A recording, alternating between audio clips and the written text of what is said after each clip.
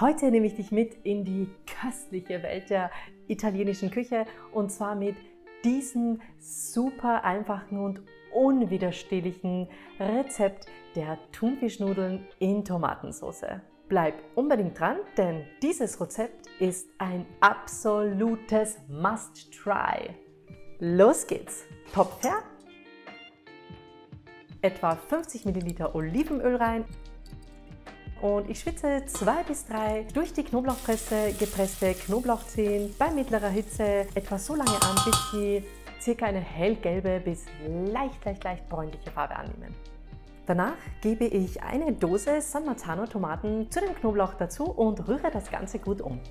Ich lasse die Soße für etwa 25 Minuten ganz leicht bei schwacher Hitze dahin köcheln. An dieser Stelle kurz etwas zu den Dosentomaten. Leute, ich kann es nicht oft genug sagen, aber die Wahl deiner Dosentomaten ist vor allem für dieses Rezept der absolute Dealbreaker.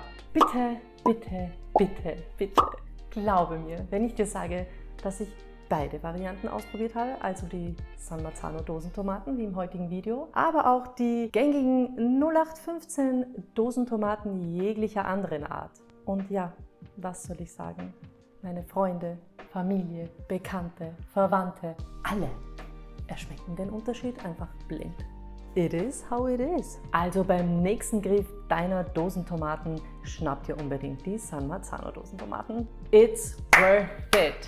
So, Back zum Rezept. Ich rühre die Soße immer wieder mal um, bis die 25 Minuten vorüber sind und gebe dann noch circa einen halben bis ein Teelöffel Salz dazu.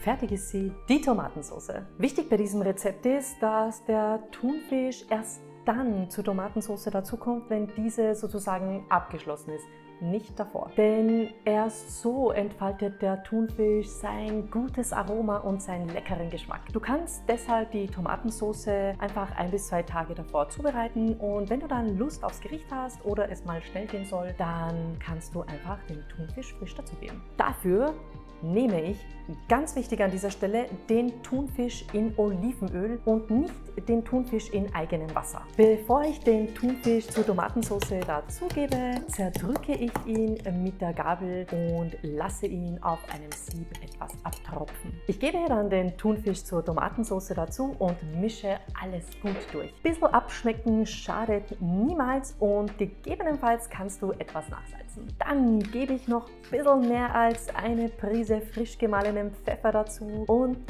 noch 15 Gramm Butter und alles wird dann gut durchgemischt. Und jetzt geht's ans Anrichten und ihr wisst, ich liebe es. Als erstes gebe ich die Nudeln in einen Pastateller und dann kommt schon die super leckere Thunfischsoße drauf. Dann noch mit frischer, feingeschnittener Petersilie garnieren und fertig sind sie, meine Thunfischnudeln in Tomatensauce.